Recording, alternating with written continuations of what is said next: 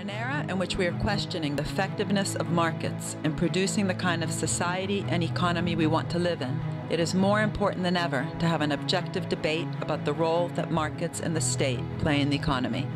Is the state necessary only to correct market failures, or is it also needed to more actively shape and create markets and technological opportunities, and to promote growth which is not only smart, but also inclusive?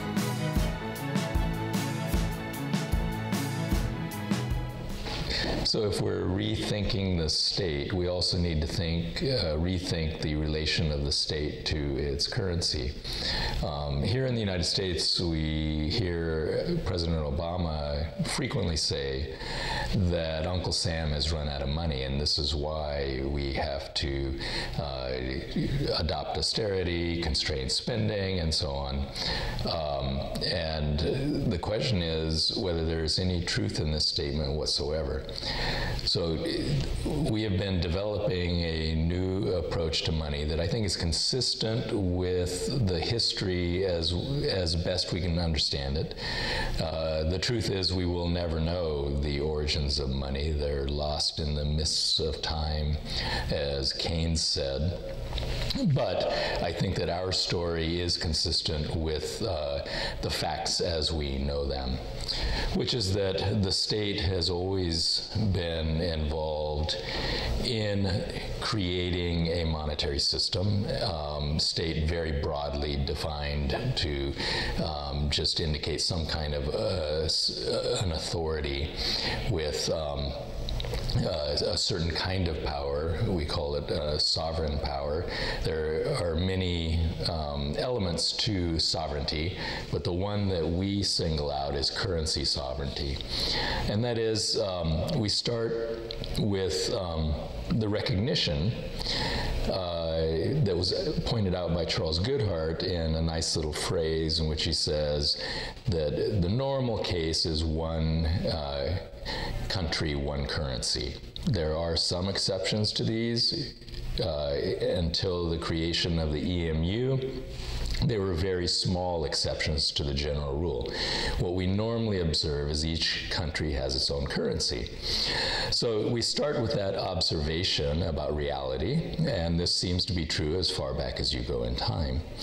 Um, one nation, one currency. The uh, authority, the sovereign government, chooses the money of account, say the dollar in the United States or the yen in Japan.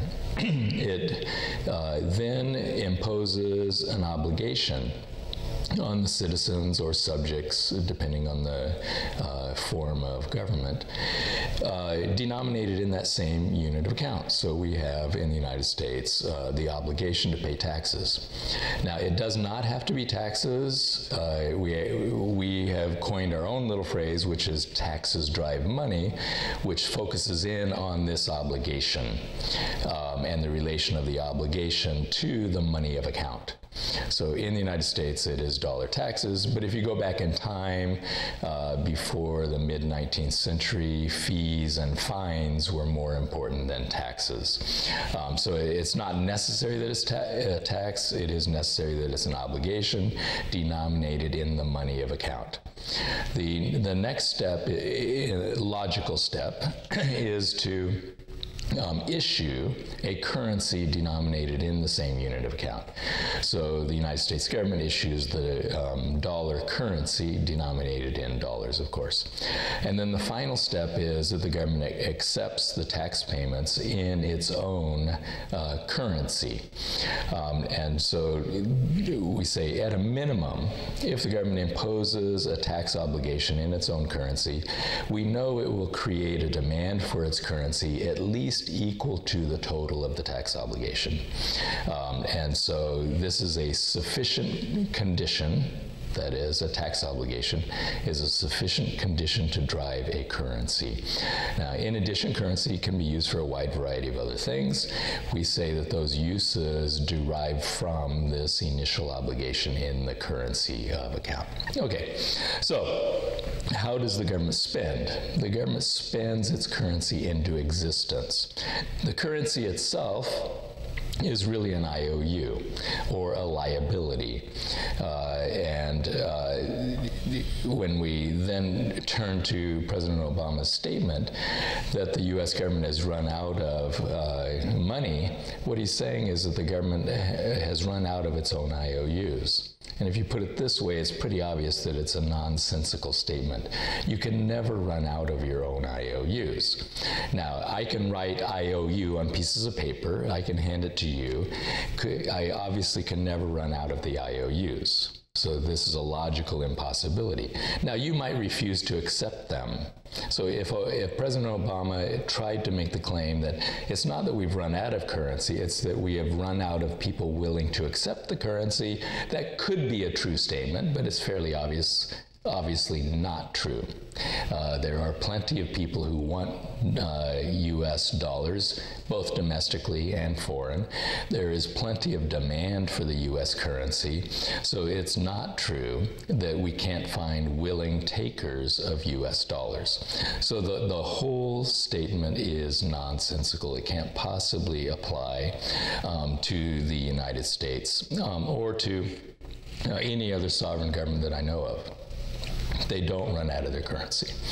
Uh, can a government spend too much of its own currency into existence? The answer to that is obviously yes it can spend too much. How would we know if it was spent too much? Well, we would have reached full capacity utilization, we would be at full employment, so that any further spending would necessarily be inflationary.